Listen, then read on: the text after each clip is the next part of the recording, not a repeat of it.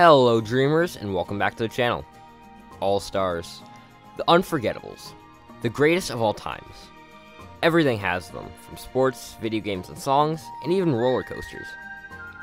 There are a lot of All-Star title worthy coasters in the world. But what if there was an All-Star park? What I'm saying is, like you have an All-Star basketball team, this park would be an All-Star lineup of some of the best coasters around. But like an all-star basketball team, you need a well-rounded lineup, a one-two punch, a jack of all trades, an all-star for every category. And that is what I'm gonna create today. And I'll show all of you how to do this challenge yourself. If I had an unrealistic budget and every single coaster was up for sale, which ones would be at this dream park? Before we get started on construction, only a very small margin of my viewers are actually subscribed. I would appreciate you do, as it's free and really helps out the channel against the YouTube algorithm. Anyway, if I do get something wrong, please correct me in the comments. Enjoy your ride. Let's lay out some criteria for the challenge. The goal is to construct a park with a godlike lineup of coasters. We have 15 slots for 15 different coaster types, being Giga, Hyper, Single Launch, Multi-Launch, Hybrid, Spinner, Family, Indoor, Classic Wood, Modern Wood, kiddie, Invert, Unique Position, Looper, and Defunct. 15 for an all-star park isn't bad, especially with the quality of these coasters. Well, maybe 15. See, there's a catch. For each one of these categories, if I choose a coaster that fits two of the categories, say Eejanaika, it would take a slot of both categories.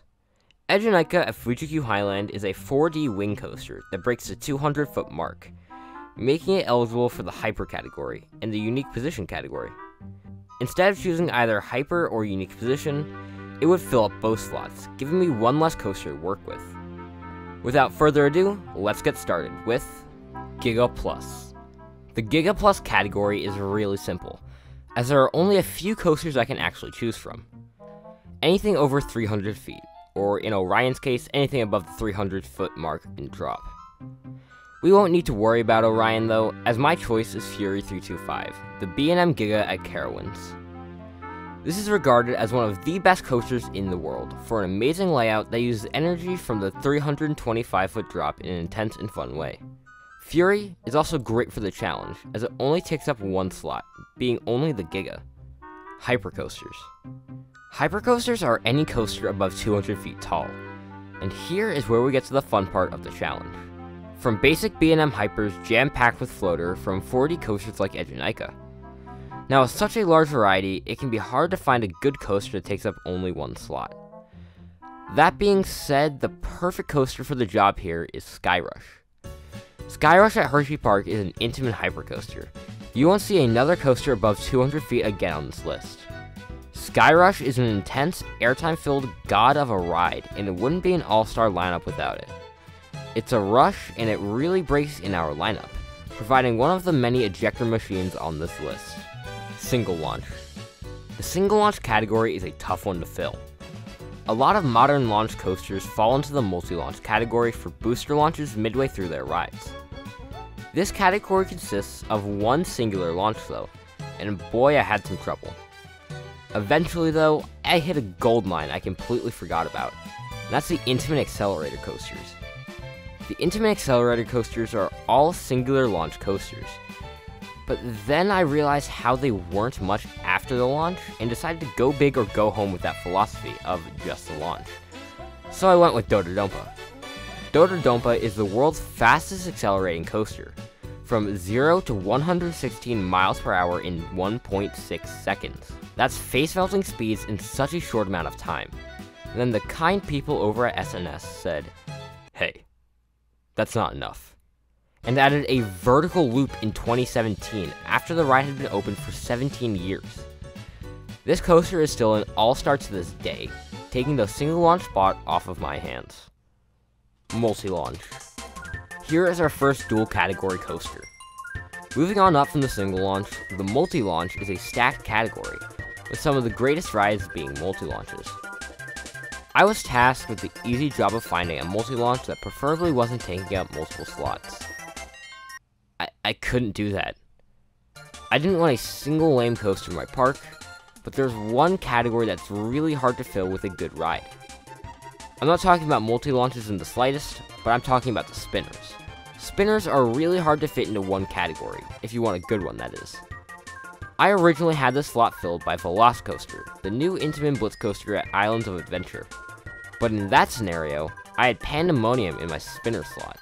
Pandemoniums do not look elite, so I had to take up arguably the best category with Time Traveler, the Mack Extreme Spinner. But I'm not particularly complaining about it. Time Traveler features two LSM boosts and spinning cars. Time Traveler has been regarded as one of the best coasters of the last decade for its theming and overall wild and intense ride that's different every time due to the spinning. If I can have such a re-rideable ride in my park like Time Traveler, it's a win even if it does take up two of my slots. Hybrids. Hybrids, the RMC category. So I'll choose Excalibur. I have almost the entire RMC catalog at my disposal only excluding the Hyper Hybrids, so basically just Steel Vengeance and Zadra. I have three options that I debated here. Wicked Cyclone, a mid-sized RMC, Twisted Timbers, another mid-sized RMC, and Iron Rattler, the ride that I chose. I chose Iron Rattler for its drop and its interaction with the landscape. The elements on top of the quarry wall seem like some of the most unique elements on any RMC coaster. The first drop also seems like one of the best first drops in roller coaster history. The interaction with the quarry wall and even the water beneath. You can't go wrong with Iron Rattler, giving it the prestige of my hybrid coaster at my all-star park. Classic Wood. The Classic Wood category is fairly simple. Classic Wood is any wooden coaster built before about 2000. The coaster I chose here is Phoenix, which give or take, was built about 53 years before the year 2000. I could have chosen from a lot of other great rides, like Shivering Timbers or other old great woodies, but I chose Phoenix. This is an all-star park, and I would be remiss if I didn't include one of the best wooden coasters of all time that's been around for a long time. Phoenix is a landmark coaster that really defines what real ejector is. The restraints are great, and it's a ride that multiple generations can enjoy, as it's a classic. If your family has been in the area for multiple generations, there's a good chance even your grandparents have ridden it. Modern Wood. Stepping up, we have the Modern Woodies. This can be a multitude of rides from Gravity Group and GCI, but it has to be made after the year 2000. And what better modern wooden coaster would I choose than Oscar's Wacky Taxi? And what better modern wooden coaster would I choose than El Toro? El Toro is an Intamin prefabricated wooden coaster, highly regarded as one of the best roller coasters of all time. And of course, it's a modern Woody. I would be remiss if I didn't add it to the all-star list for just how much of an all-star it is. It's one of the highest rated coasters of all time, and I absolutely see why. The layout, the airtime, it's a masterclass in coasters, and it earns its spot here and it only takes up one slot, so... Kiddie. Of all things, this was a difficult category. What is the best kiddie coaster? I have no clue. If you're playing this for yourself, you may feel very strongly on this category, and personally I do not. So I went with Harley Quinn Crazy Train, just for how long it is. Any ride could really fit here, it doesn't really matter, but it's the vital way to train the up-and-coming enthusiasts it just doesn't really matter to me. Family. Now, here is just another case of a few things. My pick for family is usually Oscar's Wacky Taxi, the junior gravity group coaster. I need to make a review of this ride. The thing is, though, I can't choose this coaster. Our modern wood slot is already taken, so why not kill two birds with one stone? Knock out family and indoors. That's right, ladies and gentlemen, I'm choosing Skull Mountain as my pick for family slash indoor coaster. Indoor is a category that you don't really choose, but one that you need to conform for.